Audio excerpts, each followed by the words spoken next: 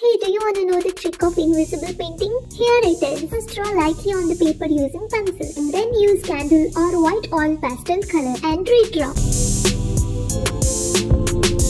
And then mix some color with water.